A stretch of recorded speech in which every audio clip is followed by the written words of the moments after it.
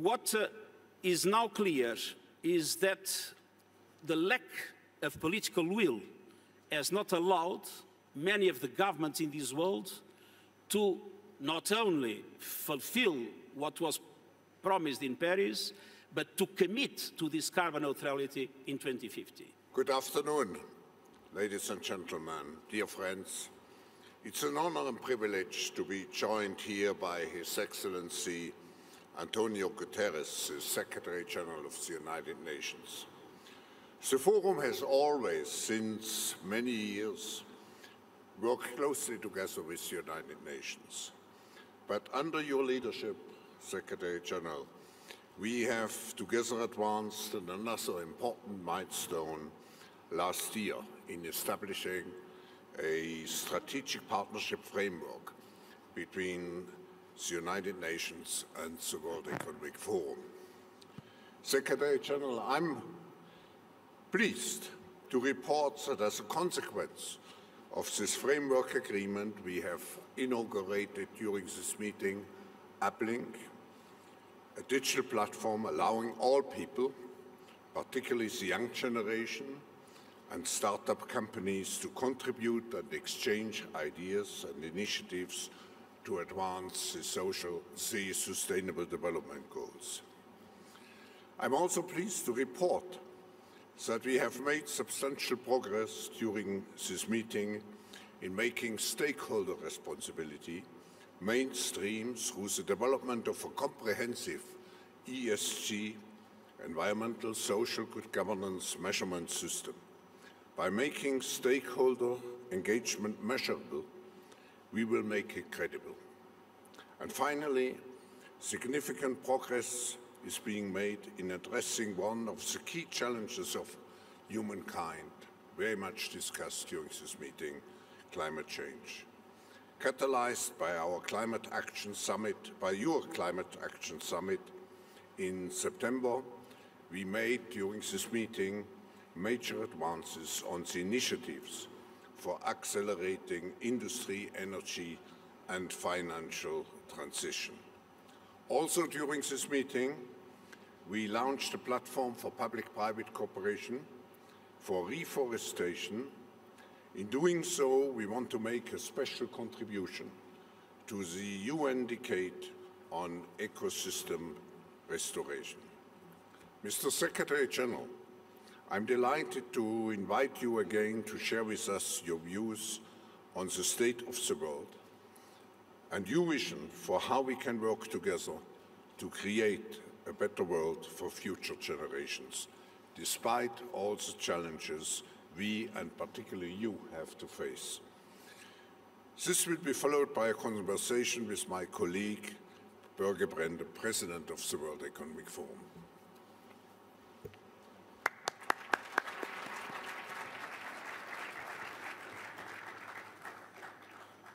So, now the show is yours, uh, Secretary General.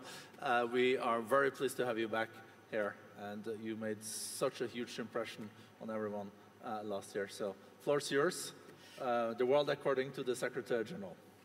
Well, thank you very much, and I first of all uh, express my deep gratitude to, Chairman Klaus Schwab and to President Børge Brende for the fantastic cooperation that uh, the World Economic Forum has been providing to the United Nations in some of the key aspects of our work. And at the same time, to congratulate you on uh, your anniversary. I mean, 50 versus 75, we are a little bit older, but uh, uh, we look at our young uh, brother with a, lot of sympathy, a lot of commitment, and a lot of best wishes for the extraordinary work that World Economic Forum has been doing. Thank you, obrigado. Now, if I had to use two words to describe the state of the world, it would be uncertainty and instability. Uh, in my address to the General Assembly yesterday, I mentioned uh, uh, the four horsemen that are around us and represent uh, huge challenges for our common future. And the first is climate change. Climate change is indeed, for me, the defining issue of our time. For the first time in the history of humankind, there is a limit, a physical limit to our perspectives of development.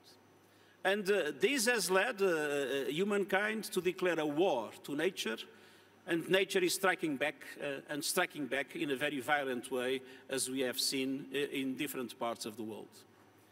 Now, uh, it is absolutely essential to recognize that climate change is an existential threat to us all, and that climate change is running faster than what we are. We are not winning this war, and we absolutely must do it. I know that for some people there is this idea, well, climate change is probably something to take into account in the future, uh, and the planet is very resilient, and the planet uh, will not be destroyed. I fully agree. The planet will not be destroyed. In uh, uh the next uh, few centuries and millennia, we will see the planet around the sun. What will be destroyed is our capacity to live in this planet. We will be destroyed by climate change, not the planet. And uh, this uh, will be for us uh, a clear indication that we absolutely need to change course. Now, we are seeing the impacts today. We have the highest level of concentration of CO2 uh, since 800 million uh, ago. We had the last decade, the hottest decade. Uh, we see the temperature of the water in the oceans and the temperature uh, inland rising at a rhythm that has no parallel in, in the recent past. We are always registering uh, records uh, in all these aspects, but especially the dramatic impact that we are seeing in relation to uh, natural disasters and their horrible humanitarian implications and economic implications. What we are seeing in relation to the factors of insecurity, with the, the lack of resources caused by prolonged drought, um, making farmers and herders uh, fight, and uh, contributing to the instability in areas like the Sahel, where climate change is objectively supporting terrorist activities. Uh, when we see all the other dramatic implications that climate change is having. Uh, look at the fires that occurred in the Arctic, uh, Siberia, uh, but also in uh, uh, Greenland and Canada. Now, what we have seen in, in Australia. All this makes us think that it is indeed a climate crisis and a climate emergency now. Now, the good news is that the scientific community has told us exactly what to do. We need to make sure that temperatures do not grow above 1.5 degrees at the end of the century. And we need to make sure to reach that objective, that we have carbon neutrality 2050, and that we reduce in the decade ending in 2030 uh, the emissions by about, as an average, 45% in relation to the levels of 2010. But if one looks at what was agreed in Paris, the commitments in Paris will still lead to increase the temperature 3 to 4 degrees, and that is catastrophic. And if you look at the portfolio of um, asset management uh, entities that uh, uh, are working with us and want to shift resources from the grey economy to the green economy, they still recognize that their present portfolios represent a global economy that is moving to an increase of temperature of 3 to 4 degrees, which means there must be a meaningful shift of resources from fossil fuel companies, from the grey economy to what it is, the green economy, renewables and different other areas of activity that are the ones that have future in our world if we want to be able to preserve um, the, the, values that uh, we have been fighting for. What uh, is now clear is that the lack of political will has not allowed many of the governments in this world to not only fulfill what was promised in Paris, but to commit to this carbon neutrality in 2050. We have seen many small countries doing so, small island states. 70 countries did so in the summit that we had in September. Uh, we see now the European Union, and I would like to underline that, uh, with a very strong commitment to carbon neutrality in 2050. There is still the problem of Poland to be solved, but we all believe it will be solved on time. But the great, the big emitters have not yet committed to do so.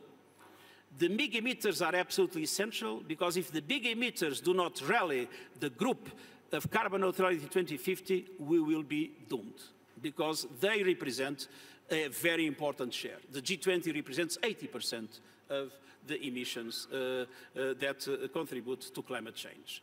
And so it is in the big emitters, and namely in some aspects like the addiction to coal, particularly in Asia, that we need to act in order to make sure that we do not become doomed in all the efforts that the international community is doing.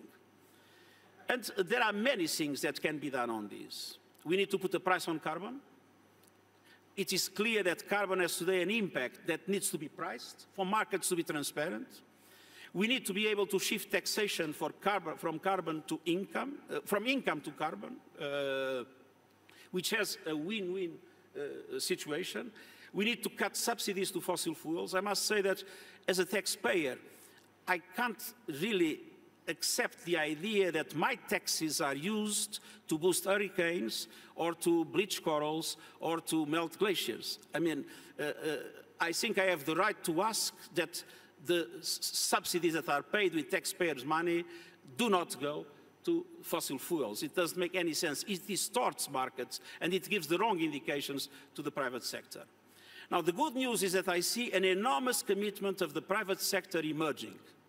And I see the financial institutions more and more, with some exceptions, and we have seen how this debate is uh, uh, not entirely clear yet, uh, even in what happened in the recent days here in Davos, but more and more banks, asset managers, uh, more, more and more central banks are saying that this must be a priority also in their activities. And we see more and more companies recognizing that they themselves must be carbon neutral, and this is something that is very encouraging. And even more encouraging is to see cities doing the same, is to see public opinions doing the same, is to see elections. For instance, elections in Europe one year ago were disputed based on migration. Last year, it was a lot on climate change. So we see electorates emerging, we see uh, public opinions, and we see the youth mobilizing in an extremely important way. So being very worried because we are still losing this war. We are not yet reversing the trend. We still increased emissions last year.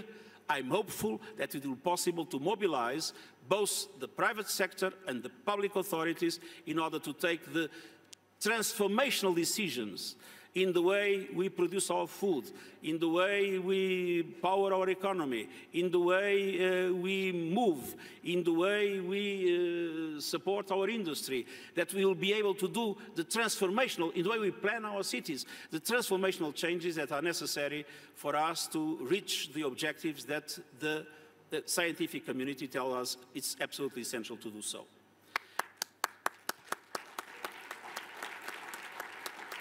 The second horseman I'd like to uh, refer has to do with the level of disquiet and mistrust that we see everywhere in the world today.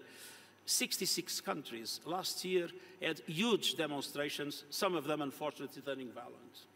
And what is clear is that the reasons of these uh, situations are different from country to country. I mean, in each the, the pretext uh, is different. But there is an underlying factor mistrust, lack of trust in political establishments, and the perception that there is unfairness in globalization, that globalization is not reaching everybody in the same way, and that inequality is growing in many of our societies. As a matter of fact, seven uh, in ten people in the planet live in countries where inequality is growing at the present time. Now, this has generated uh, uh, uh the kind of movement that obviously is very important, but must remind us that we need to guarantee two things. First, that governments understand that they must give voice to their people, they might give ways for people to participate. They must respect the civic space that unfortunately has been put into question in so many areas around the world. They must respect the freedom of press that has also been put into question in many areas of the world. And they must give a voice particularly to the young people and create the conditions also for gender equality, which is an absolute must in relation to the creation not only of just societies, but effective societies in development and in guaranteeing the conditions for peace and stability. But the second thing we need is really to work together for a fair globalization. And it's very encouraging to see the World Economic Forum in the front line of these efforts. To put civil societies, governments and businesses working together in order to make sure that we reap all the benefits of globalization, but do it in a way in which everybody can benefit. which means that the Sustainable Development Goals, which means that the Agenda 2030 should become a master plan for the development plans of each country in the world, and also an important reference for the way businesses plan their own activities. And it's, as I said, very encouraging to see the enthusiasm with which so many actors at local level, at national level, in the business community, in the civil society, are indeed adopting the Sustainable Development Goals as their reference in their own campaigns, in their own actions, and in their own uh, uh, activities. But uh, let's be clear, we are lagging behind. If everything would go on as it is today until 2030, we would be halfway. We need to accelerate. And to accelerate, we need to make a huge effort, both in relation to the seriousness of our commitments, but also in relation to the mobilization of resources. Mobilization of resources for climate change. It's not enough to be ambitious on, ambi on, on mitigation. We need to be ambitious on, on adaptation and on finance and ambition also in relation to the financing of the Sustainable Development Goals, of the creation of conditions for countries to be able to uh, increase their uh, capacity to raise their own resources, uh, support them uh, in relation to money laundering, uh, um, uh, tax evasion, illicit flows of capital that are drawing resources from them. And this is a responsibility of the international community as a whole, making sure that international financial institutions fully play their role, making sure that we have innovative forms of financing uh, social impact bonds, green bonds, making sure that, uh, uh, that we have also instruments to de-risk private investment, making sure that governments assume also the responsibility of good governance, of the rule of law, of fighting corruption for private investors to feel that they are ready to risk in the developing world. So there is a lot that still needs to be done to mobilize the international community for the Sustainable Development Goals to be a reality. Two brief references, and we'll have time to discuss, and I don't want to monopolize in this first intervention, to the two other horsemen. First, the increase of tension, the increase of geopolitical tension in the world. It is a factor that we have seen dramatically in the potential conflict in the Gulf that fortunately it was possible to avoid. Uh, it is something that we see in the dysfunctionality of the relations between the major powers, uh, namely in the Security Council, and in the inability of the Security Council to take decisions and address the crises that we face and allow us to solve them or prevent the emergence of new ones. Uh, the dysfunctionality also in relation to trade and uh, uh, in relation to technology that risks uh, a great fracture in the world. we need a global economy we need uh, multilateral institutions to be in charge both of the governance at peace and security level and at the governance at uh, the level of uh, um, uh, trade and at the level of technology. And the last uh, uh, is exactly related to the dark side of the technological evolution, especially the digital world, where I recognize that there has been a very important leadership of the World Economic Forum, both in relation to the preparation of member states uh, uh, of the United Nations and of societies to the impacts of the fourth industrial revolution, but also in relation to drawing the attention to the need to put some order in what the, is the chaos today of the cyberspace, and also to make sure that artificial intelligence becomes a force for good. And uh, in all these, we have been working together and fully appreciative of the excellent work that World Economic Forum is doing. And uh, it is my deep belief that uh, we need to be able to boost international cooperation and we need to be able to recognize that these global challenges can only be solved through a global response. And the global response requires international cooperation and multilateral institutions, but not the traditional multilateral institutions working in traditional ways. And when I think about the UN, I see more and more a UN that I want, being a UN working in network with all other international organizations. When we look at the Sahel, it's working with the African Union, with ECOWAS, with World Bank, that we can provide an answer to the Sahel.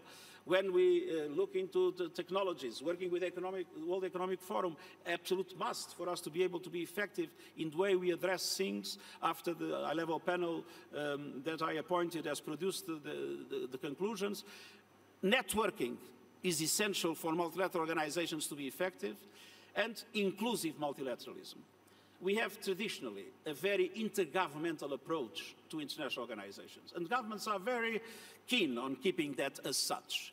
But the truth is that governments control less and less of the collective life of countries. More and more local authorities are relevant, regional authorities are relevant, the civil society is relevant, the business community is relevant, and we must give voice to them also inside the multilateral organizations and make the multilateral organizations reflect the anxieties, the aspirations, and the objectives of those that build our societies and contribute to what can be an effort, a global effort, to make these four horsemen go home.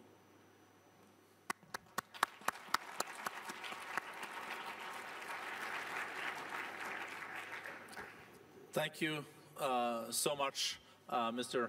Uh, Secretary General, and also thank you for the well wishes for the forum's 50th uh, anniversary. Of course, we also wish the UN uh, happy 75th anniversary, and there is so many challenges uh, to um, deal with, so there is not a lot of time for celebration. It is really rolling up the sleeves, like the Secretary General no, also indicated, on all these really pressing issues. I think there is, Secretary General, um, a lot of concerns also among uh, the participants in Davos on the escalation we have seen lately uh, in conflicts and also proxy wars. Earlier uh, during um, the summit, uh, our annual meeting, I said that we're moving from a Cold War to hot peace, but I was corrected uh, by one of the participants saying, no, we moved from Cold War to hot proxy wars. Seen from you, your viewpoint, how can we uh, together de-escalate these conflicts that we're seeing? Is there a way to stop these proxy wars and uh, making sure that the world get more peaceful? We are trying hard. And um, uh, we have made huge efforts in Yemen, we have made huge efforts in Libya, we have made huge efforts in Syria. In Syria. We are trying hard but uh, what we now see more and more is that conflicts are no longer conflict between two countries, that are countries with conflicts within a country.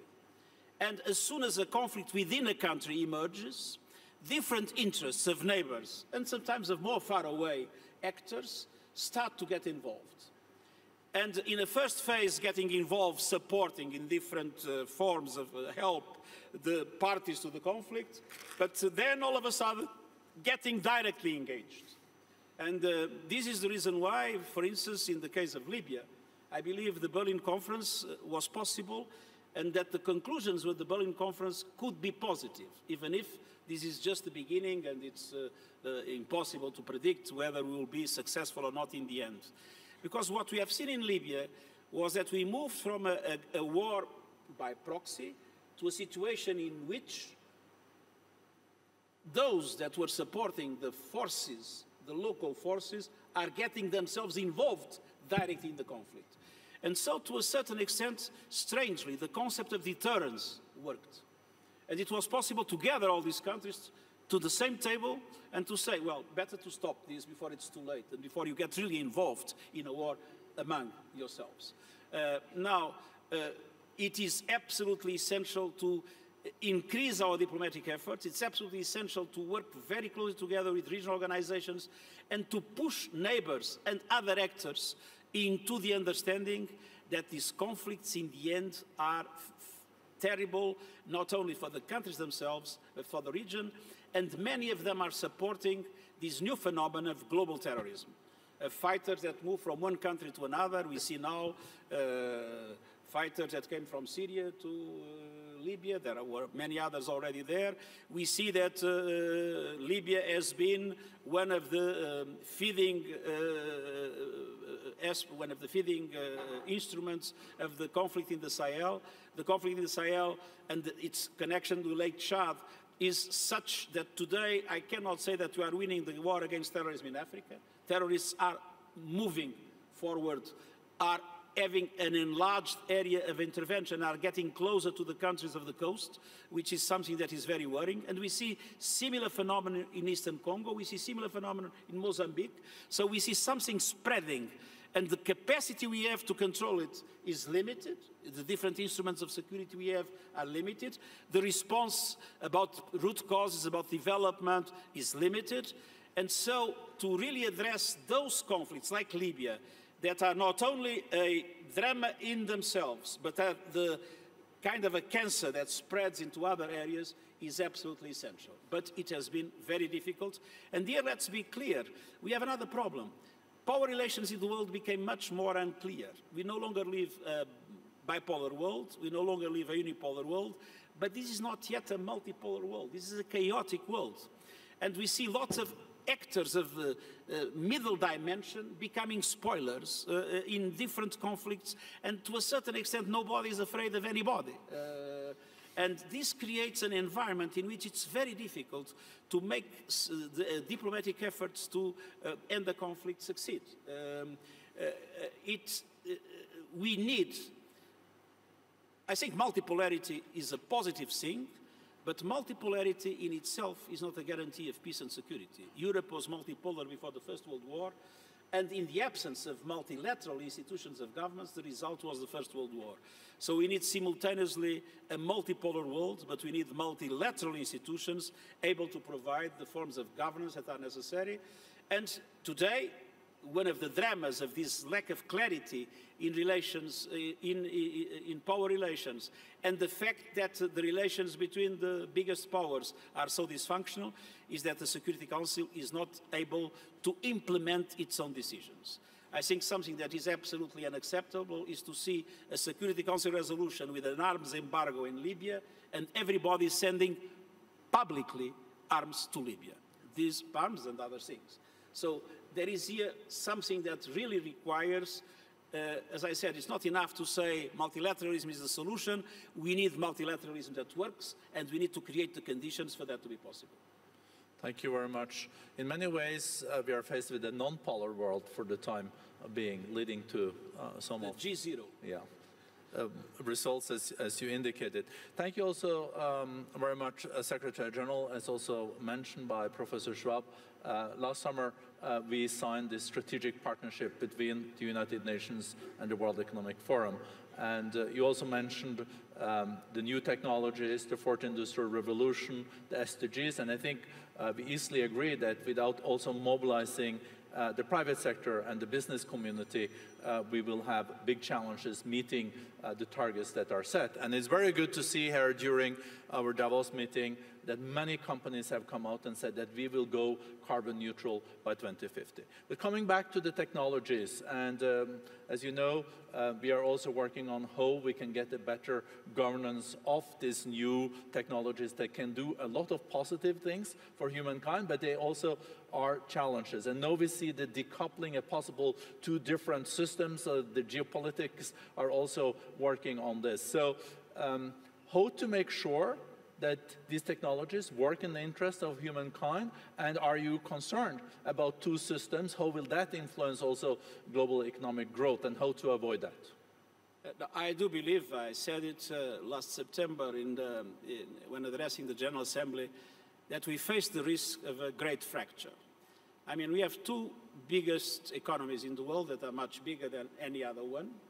And uh, these two economies have been uh, uh relating each other in a way in which we had a trade conflict that has now had a kind of a lull with this uh, first agreement. But let's be clear, this first agreement doesn't solve any of the key problems uh, that uh, uh have to be resolved. But uh, more important than trade for me is technology, is the divide in technology. And we see it already.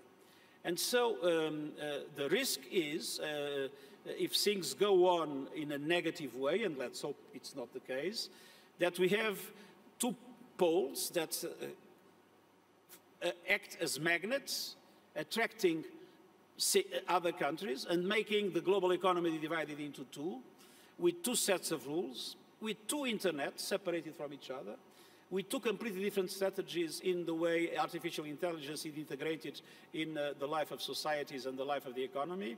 And uh, inevitably, when this happens, sooner or later, we have uh, uh, the uh, different and opposing military and geostrategic approaches.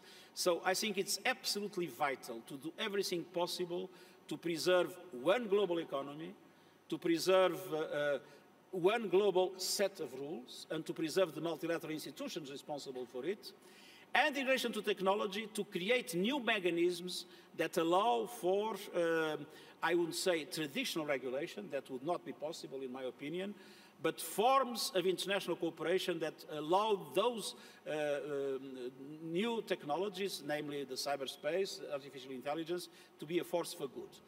My approach, and I think the UN can be a platform when people can come together, and uh, what to a certain extent comes from the conclusions of the level panel I appointed, is that what we need is not a convention that is established by all states and then it is ratified uh, during uh, two or three or four years and the moment it uh, enters into function uh, the technology has evolved in such a way that the convention no longer serves any purpose. What we need is a permanent way in which governments, companies, researchers, civil society come together and establish a number of norms, protocols, uh, uh, define some red lines, uh, at the same time exchange best practices and create mechanisms of cooperation. The Internet Governance Forum is one of them, but we can have others.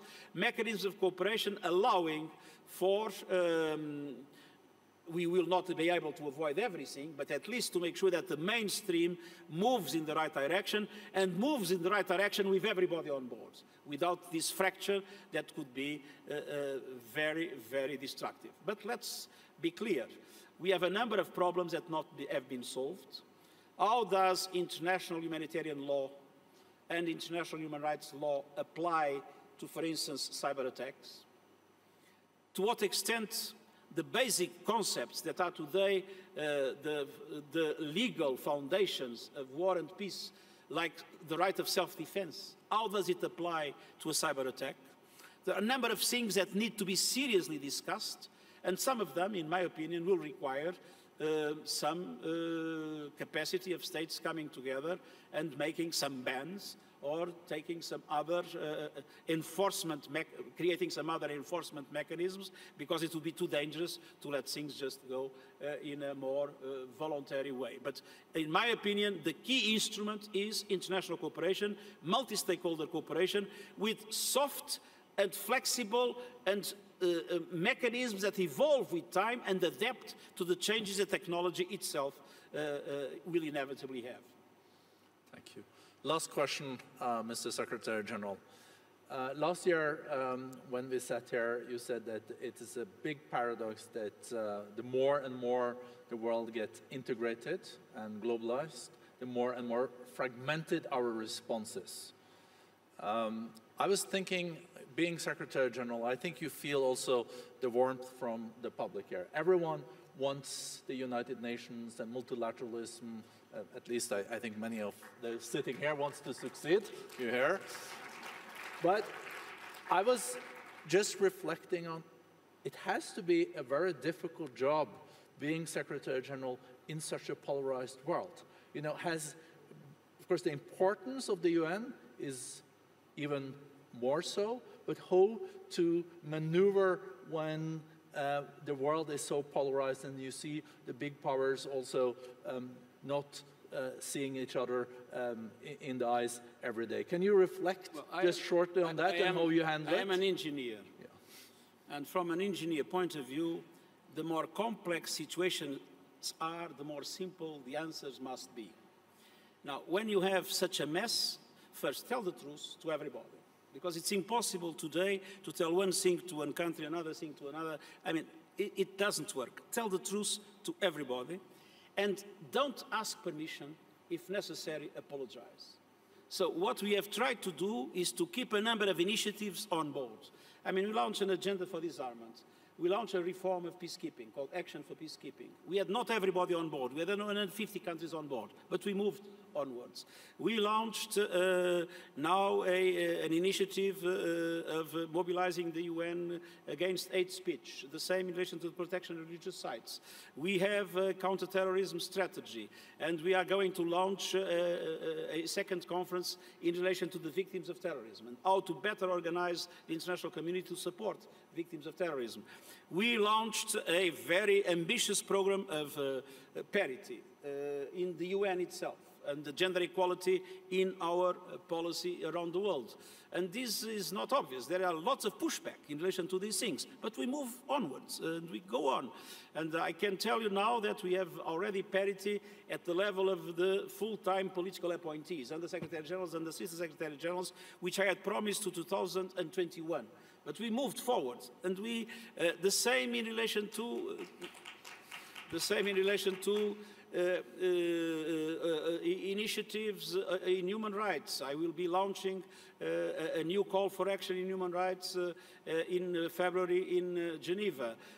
we, I mean, we need to taking into account that how difficult it is to bring together uh, all member states uh, and to create the conditions for uh, effective action in a substantial number of areas, to do everything we can with what we really are able to do, which is use our good offices and use our capacity to mobilize actors, be platforms where people can come together and make things move.